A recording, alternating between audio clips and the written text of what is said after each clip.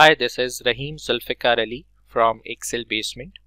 In this video tutorial, we will be learning that how a user can create personal finance budget versus actual template in Microsoft Excel.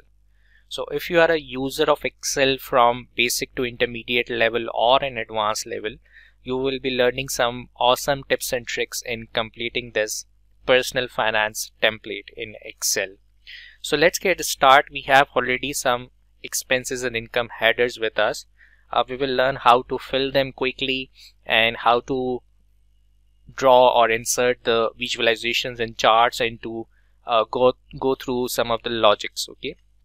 So let's get start. If you can see here uh, we have the box for incomes. So all the incomes which are coming from different uh, platforms like wages and tips interest income dividends gifts received so we have three columns projected actual difference. You can also rename projected as budget or any other word you like to but here I am using projected.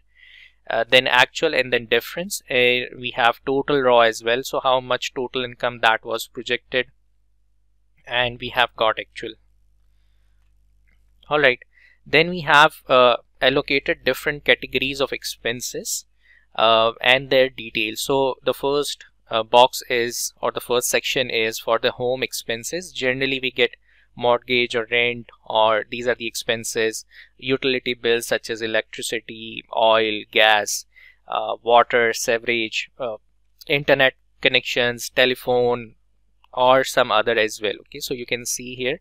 And we have just inputted the data for projected numbers and their actual numbers as well.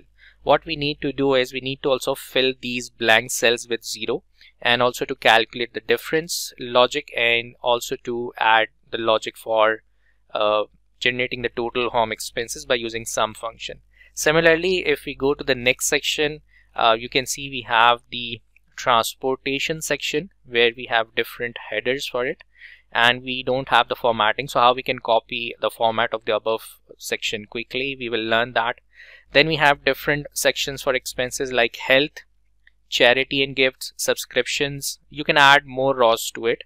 Um, daily living expenditure such as groceries clothing cleaning saloon education lessons or others. Then entertainment definitely an important part. Um, another thing is for savings. So in in savings you invest in the insurance emergency fund um, investments or other any other thing obligations um, such as loans or other things and then miscellaneous okay. Now let's get start uh, with some tips and tricks for Excel. Now how we're gonna do that is we need to fill the blank cells with zeros. So we will select an array and we will write zero. And then we will press control enter key. So that will paste that entire value all together uh, for the difference uh, we we will be just applying a very simple logic here. So the projected minus actual okay? And we will just copy and paste. So we have to select the column and press ctrl D to copy and paste downwards okay? So as a basic user you know it. Then we will select these three cells to get the sum. So to quickly get the sum we will press alt equal to and that's it. We got the sum function Alright, similarly for the next section which is the home expenses portion.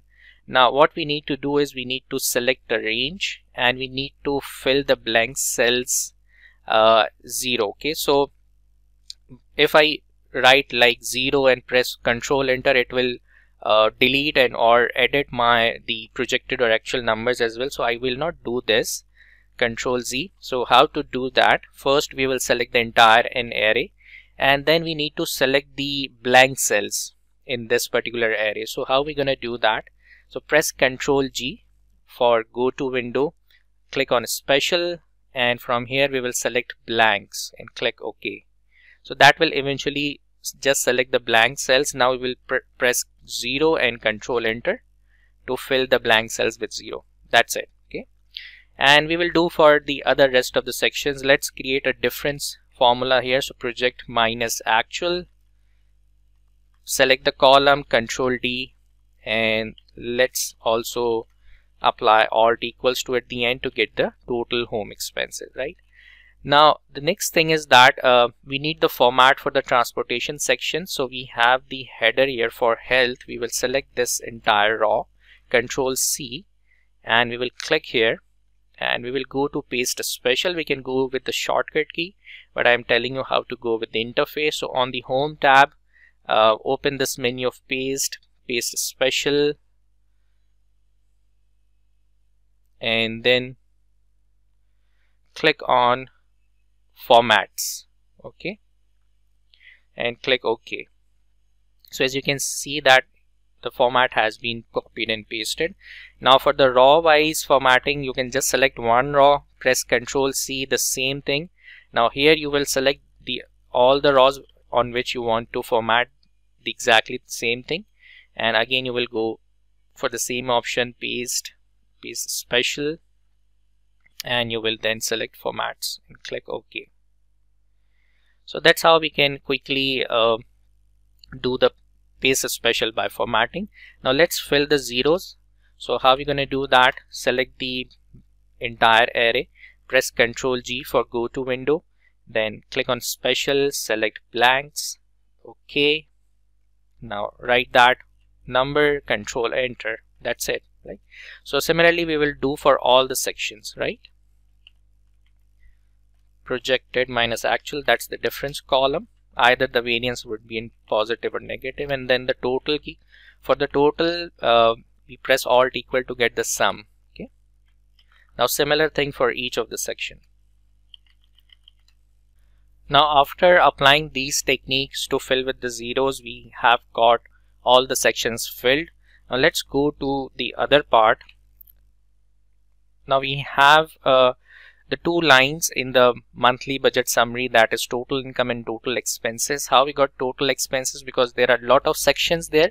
So we have gone through cell by cell approach for to uh, get each of the section uh, projected value like home expenses transportation entertainment uh, daily living as you can see here. And the similar goes for the actual and then there is a formula for difference project minus actual right? Uh, for the total income uh, let's do it. We have that income section here projected in the actual. This is equivalent. Okay and the difference would be definitely none. So project minus actual okay. All right. Then we have another section uh, where we have just summarize all the expenses uh, projected and actual. So these are just coming from all these total lines of cell references. Okay. Let me show you. This is how it's coming. And then the difference formula and the difference in percentage formula with an if error right?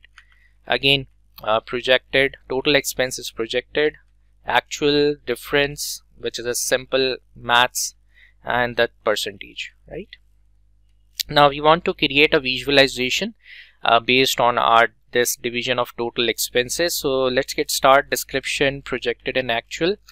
And let's add one chart that is go to insert. Let's add one simple chart. That is 2d column chart. Okay here we have. And let's format this. So let me make it a bit bigger and we will overlap these uh, overlap these budgeted bars or you can say projected. So right click format data series and we will say series overlap to 100% right? Then we will go to bucket and we will do some formatting here. So we say no fill. We will we want to create a border for that. So we will be adding a border with a black color and increase the size of the that widths right? If you want to increase the column width so right click format data series and decrease the gap with percentage as well. Now 76 right. This is how we have completed.